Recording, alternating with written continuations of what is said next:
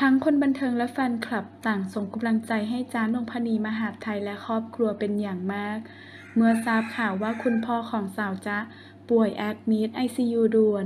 โดยวันที่ 3 มกราคมช่วงเวลาตีหนึ่ง21 นาที สาวจ๊ะได้เคลื่อนไหว ได้โพสเฟซบุ๊ก